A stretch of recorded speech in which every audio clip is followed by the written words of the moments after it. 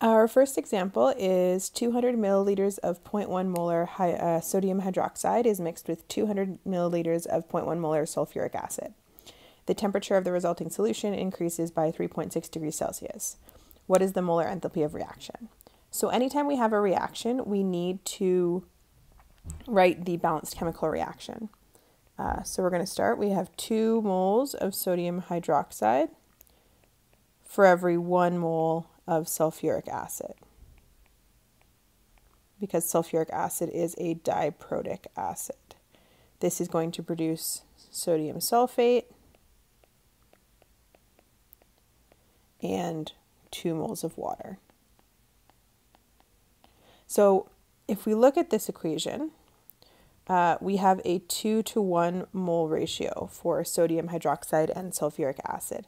And the reason that we care about limiting and excess reagents in these types of calculations is our formula N delta RHM. So the moles of our reactant times the molar enthalpy of the reaction is equal to negative MC delta T of our surroundings. So on the left, we have our system, and on the right, we have our surroundings. So our surroundings in this case are going to be water. So it's going to be the solution itself. Our system is going to be the reaction. But this number of moles is going to be our limiting reagent number of moles because our limiting reagent is used up completely. And so it's going to determine how much heat is produced.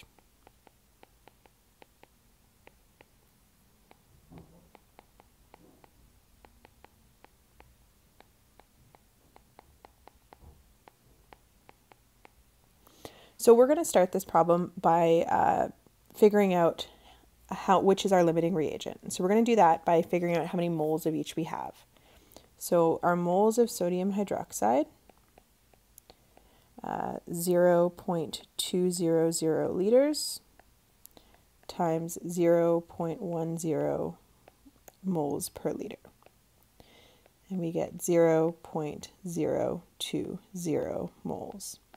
We're going to do the same for sulfuric acid.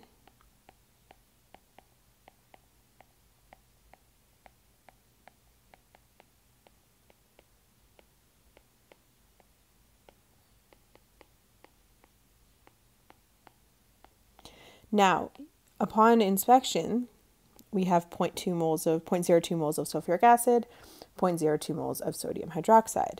However, these have different coefficients. So we're going to divide these numbers by their coefficients. So we're going to divide sodium hydroxide by 2 and divide the sulfuric acid by 1. So this number is the relative number of moles. These are directly comparable numbers. And so if we look here, we have fewer relative moles of sodium hydroxide than we do of sulfuric acid. So what that means is that NaOH is our limiting reagent And uh, N in this case is going to be 0.020 moles of NaOH. So we know that our, our number of moles of reactant is 0.020 moles of NaOH. Uh, and we know that the mass of water that we're going to have in our reaction is going to be uh, 200 milliliters or 200 grams from the sodium hydroxide plus 200 grams from the sulfuric acid. So that's going to give us 400 grams of water.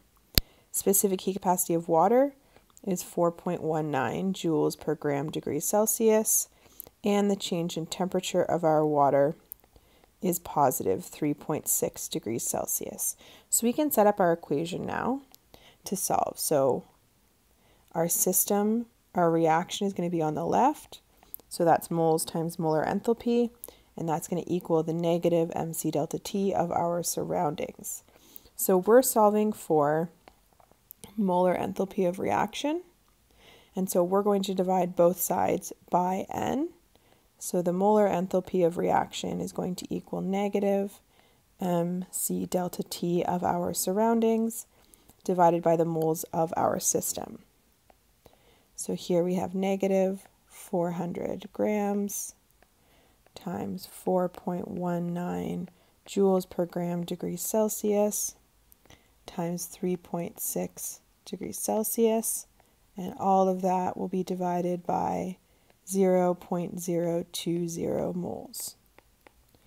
And that's going to give us uh, 300 and so negative 301,680 joules per mole. Uh, and we're going to change this into kilojoules so it's a little bit more of a reasonable number. Uh, so that's going to equal negative 302 kilojoules per mole.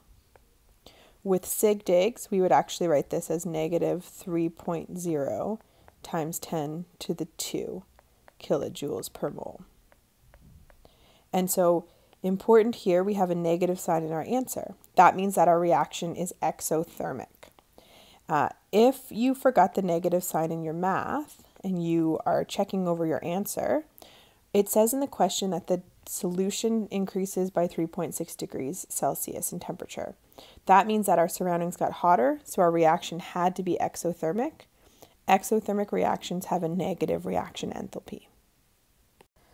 Our second example is 5.6 grams of ethanol reacts with 10 grams of oxygen in a combustion reaction.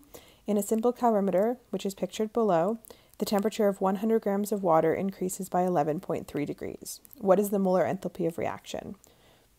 So this calorimeter is a little bit different than what we would have seen with a coffee cup calorimeter. Uh, in this calorimeter, our ethanol burns below the water, and then the heat from the ethanol uh, combustion rises and heats the water in uh, some sort of metal container. Um, so we're still going to do the analysis the same way we would have before. So we're going to start with a balanced chemical reaction. So ethanol is C2H5OH. Uh, if you forget the formulas for any organic compounds, you can find them on pages uh, five, I believe four and five in your data booklet, the thermochemical table. Uh, when we combust something, we combine it with oxygen and we form uh, carbon dioxide and water vapor. So anytime we're combusting in an open environment, we're forming water vapor. Um, okay, so we're going to balance this reaction now. Uh, we're going to put a 2 in front of our carbon dioxide to balance out our carbons. We'll put a 3 in front of our water to balance out our hydrogens. That gives us a total of 4 oxygens from CO2 plus 3 from water. So we have 7. We have 1 in ethanol, so now we need 6 more. So we put a 3 here. So we have a balanced reaction. Next up is going to be determining our limiting reagent. So we're going to start by finding the moles of each. So the moles of ethanol uh, we have the mass, so we're going to divide mass by molar mass. So 5.6 grams divided by uh, 46.08 grams per mole. And that gives us an answer of uh, 0.122 moles. We're going to do the same thing with oxygen. So we have 10 grams of oxygen and oxygen has a molar mass of 32 because it's diatomic. And that gives us 0.313 moles. Now we can't compare these numbers directly because we have different coefficients in front of ethanol and oxygen. So we need to divide them both by their coefficients.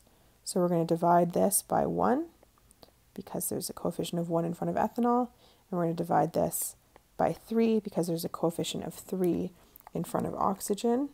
And we get 0.104 moles versus 0.122 moles. So what that tells us is that oxygen is the limiting reagent. And in our next step, when we do our calculation with moles, we're going to use 0.313 moles. So really, really important here. Um, we are going to uh, use the number of moles we actually have because we combust, we use all of these moles of oxygen. We're not going to use this relative number of moles. The reason we can't use ethanol here is that we're not going to actually use up all of our ethanol. There's going to be a little bit left after the reaction. Okay, so in this reaction, our system is our ethanol and our oxygen reaction. And we know that the, from the last step, the number of moles is 0.31. And I'm going to write it the full number this time before I plug it into an equation.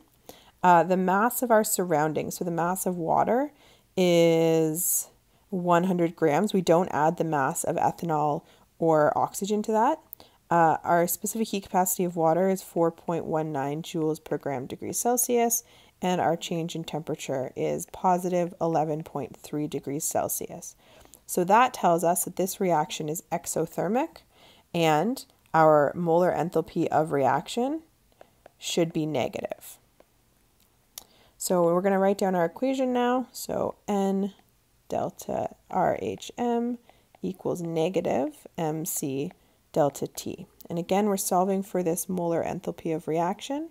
So we can rearrange this as our molar enthalpy of reaction equals negative mc delta T of our surroundings divided by the moles of our system. And that's going to equal negative uh, 100 grams times 4.19 joules per gram degree Celsius times 11.3 degrees Celsius, all divided by 0.3125 moles. That's going to equal negative 15,151 joules per mole or uh, negative 15 kilojoules per mole. And that's in relation to oxygen. So that's our molar enthalpy of reaction for O2. If we wanted to find what it was for uh, ethanol, we're going to do that on our next page. So we just determined that the uh, molar enthalpy of reaction for the reaction described above is negative 15 kilojoules per mole of oxygen. Now we can figure out what this molar enthalpy of reaction is in terms of ethanol. So we could just write this again. So we can say our molar enthalpy of reaction is equal to negative 15 kilojoules per one mole of oxygen. And we're going to just multiply this by our mole ratio. So we have three moles of oxygen. So here we oxygen is on the bottom of our fraction, so it goes on the top of our mole ratio. And we're going to divide that by one mole of ethanol. And that's going to give us uh, a molar enthalpy of negative 45 kilojoules per mole of ethanol. Now I'm going to quickly show you um, what our molar enthalpy of reaction would have been had we used um, the moles of ethanol in our calculation originally, so that 0.122 moles of ethanol from, that we found earlier. So our molar enthalpy of reaction would have been uh, 100 grams of water times 4.19 joules per gram degrees Celsius times 11.3 degrees Celsius divided by 0.122 moles. And that's going to give us an answer of uh, 38,960 uh, joules per mole or negative 39 kilojoules per mole. And the reason that it's lower is in this calculation, we assume that all of the ethanol burns and therefore contributes to the energy produced. However, only some of the ethanol burns, so we're actually getting more energy per mole of ethanol than we would think if we did the reaction or the calculation with the wrong limiting reagent.